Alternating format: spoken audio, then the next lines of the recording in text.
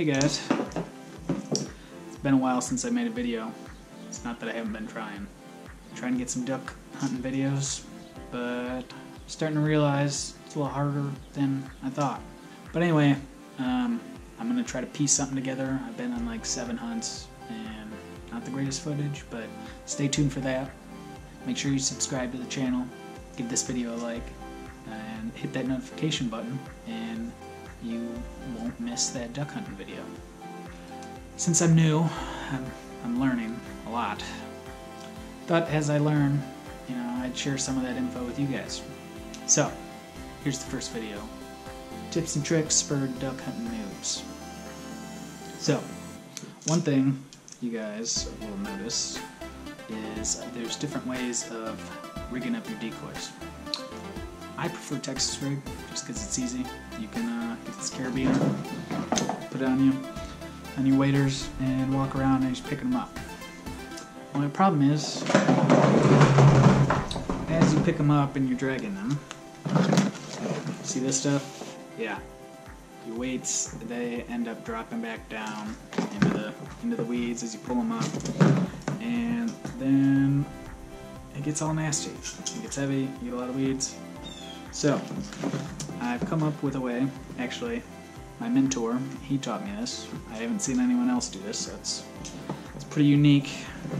I obviously didn't do it here, but the trick costs about four dollars. This guy right here, you can get him from any. I think I got this from Walmart. There's two pack for four bucks. It's just a little, I don't know, zip tie. No, I don't know what it's called. Anyway, you get the point. It's in the hardware section. It's about four bucks. The trick is let's pretend that we are picking up decoys. Carabiner. Alright, so we got one. Picked it up. You want to hold it starting down here like this so the weight doesn't fall. So you still got to hold on. You attach it to your carabiner, make sure you hold it up here. As you're going through your spray, picking up more. Same thing, hold them about the same spot.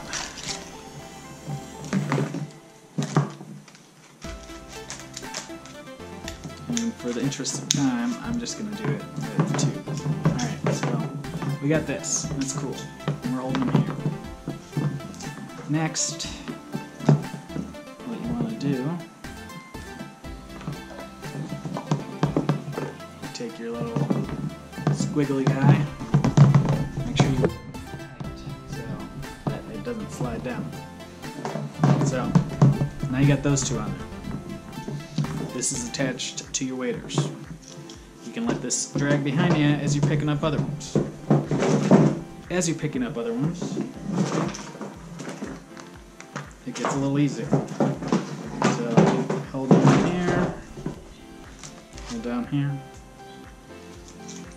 attach. Now, bring this one up, all you do is you just add it to the loop. So wrap that. That way it doesn't slide. Now you can let them drag behind they're not going to fall into the water. And you don't get this stuff over your weights and in your bags.